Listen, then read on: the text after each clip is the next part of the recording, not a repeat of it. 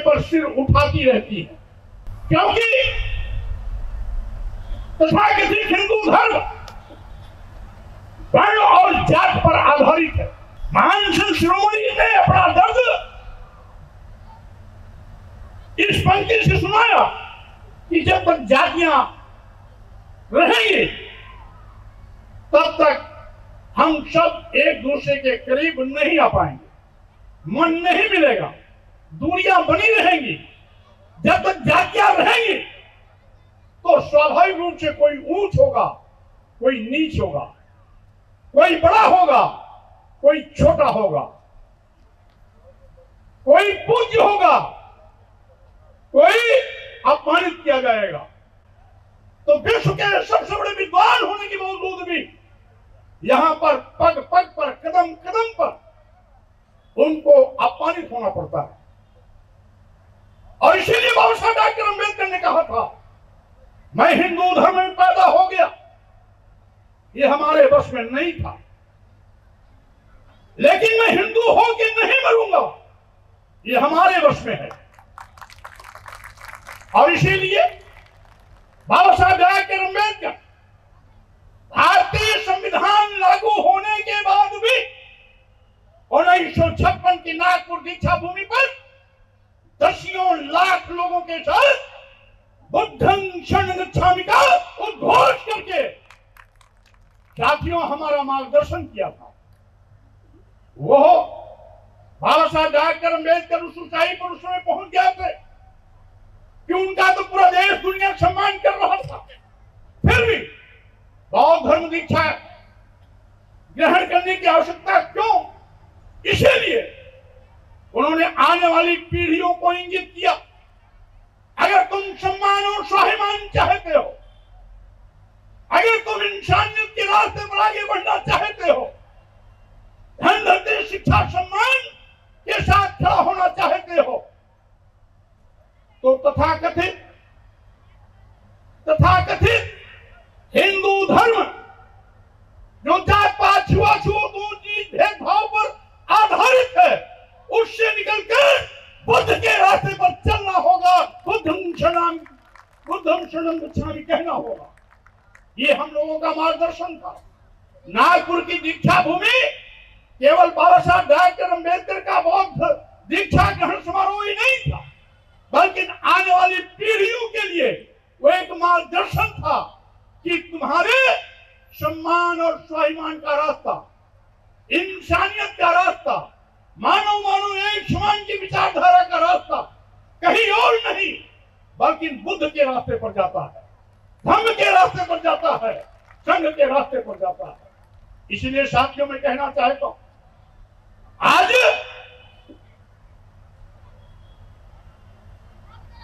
आज़ादी मिलने के बाद, यहाँ तक कि संप्रभु भारत राष्ट्र बनने के बाद, और गणतांत्रिक भारत का संविधान लागू होने के बाद भी जातिवाद हमारे बड़े से बड़े नेताओं महापुरुषों को अपमानित करने में रंच मात्र भी संकोच नहीं करती। आपको याद होगा बाबू जगजीवन राम जी अपने समय के चोटी के नेता थे। देश के प्रधानमंत्री के रूप में बनारस में संपूर्णानंद मूर्ति का अनावरण करने गए। उनके हटने के बाद वहाँ के पंडों ने उस मूर्ति को गंगा जल से धोया। क्यों? इसलिए कि बाबू जगजीवन राम जी दलित समाज में पैदा हुए। अभी भी कुछ महीने पहले हमारे देश के प्रथम नागरिक राष्ट्रपति के रूप में महामहिम रामनाथ कोविंद जी राष्ट्रपति रहते राजस्थान के पुष्कर ब्रह्मा मंदिर में दर्शन करने के लिए से गए थे। वहाँ के पंडों ने उनको मंदिर के अंदर नहीं जाने दिया। जबकि राष्ट्रपति अपने अधिकार का अगर उपयोग करते तो सारे मंदिर के पंडा पुजारियों को जेल भेज सकते थे। लेकिन उन्होंने अपनी मर्यादा का ध्यान रखते हुए वहाँ से वापस आना, उचित समझा, वापस आ गए। देश का सर्वोच्च पद राष्ट्र सुशोभित करने वाला व्यक्ति भी इसलिए पानित होता है क्योंकि वो दलित समाज में पैदा होता है। यही नहीं, उत्तर प्रदेश के मुख्यमंत्री अखिलेश यादव जी 2017 में जब मुख्यमंत्री आवास खाली करते हैं तो यही हिंदू राष्ट्र बनाने की आवाज़ बुलंद करने वाले भाजपा के लोग उस कालिदास मार्ग स्थित मुख्यमंत्री आवास को गंगा जल से धुलवाया था। क्यों? क्योंकि अखिलेश यादव जी इनकी व्यवस्था के अनुसार शूद्र समाज में पैदा हुए मैं कहना चाहता हूँ, भारतीय संविधान सबको क्षमता का अधिकार देता है। भारतीय संविधान के अनुच्छेद पंद्रह में इस बात की स्पष्ट व्याख्या है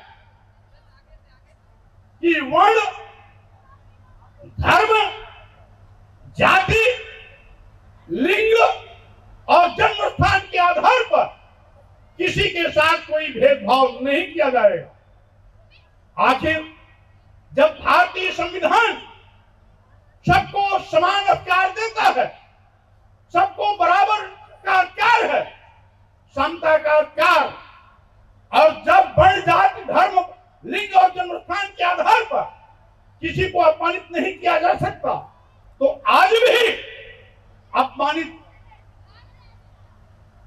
हमारे महापुरुषों को क्यों होना पड़ता है? नेताओं को क्यों होना पड़ता है? यही जातपात का जहर है।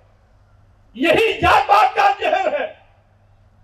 और जब भारतीय संविधान के निर्देशों के क्रम में हमने आवाज़ उठाई जाति सूचक शब्दों का प्रयोग कर गालियाँ देना बंद करो। जाति के नाम पर नीच और धम कहना बंद करो। एक वर्ग और बड़े विशेष को प्रताड़ित करने की बात, बात करना बंद करो।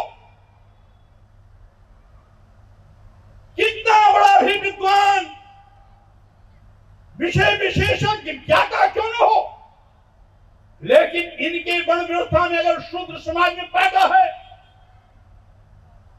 तो उसको सम्मान मत दो और अगर इनके तथाकथित उस ब्राह्मण व्यवस्था के पहले भाईदान अगर ब्राह्मण व्यवस्था में पैदा हुआ तो कितना भी शील गुणहीन क्यों न हो यानी चोर हो लंपट हो व्यवचारी हो दुराचारी हो देशद्रोही हो फिर भी उसका सम्मान करो क्योंकि वो ब्राह्मण समाज में पैदा हुआ है क्या यही तुलसी बाबा का न्याय है मैं कहना चाहता हूँ इसीलिए मैंने कहा गाली देना धर्म का हिस्सा नहीं है।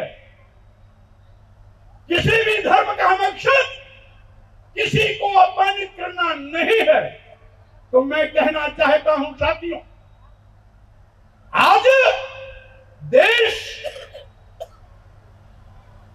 मनुष्य से चलेगा या भारतीय संविधान से चलेगा?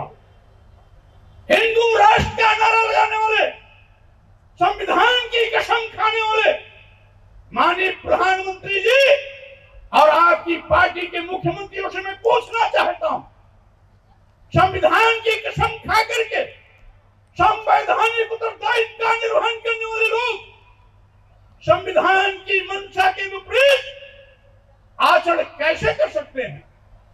आप देश को बचाना है, देश को बचाना है तो भाजपा को हटाना है, संविधान